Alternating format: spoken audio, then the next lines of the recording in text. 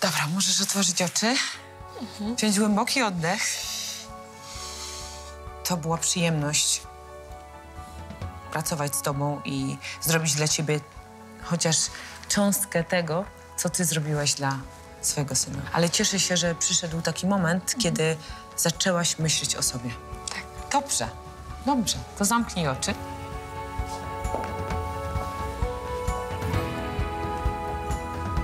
I otwórz oczy. No. Zaje fajnie. Jaki mam tyłek fajny w tej kietce. No masz. Fajnie, ten kolor do włosów elegancko, ekstra.